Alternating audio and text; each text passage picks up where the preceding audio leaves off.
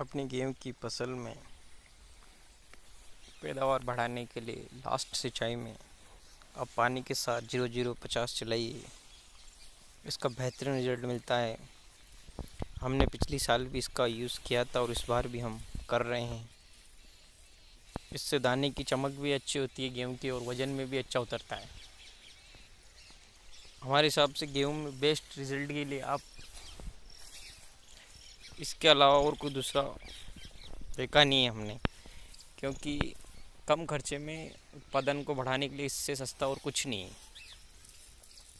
ये इपको का लाते हैं हम, जो हमारी सोसाइटी में उपलब्ध होता है, पिचासी रुपये में, मात्र पिचासी रुपये में मिल रहा है, एक किलो, जो कि हम ढाई बीघे में एक किलो का ड्रिंचिंग करते हैं।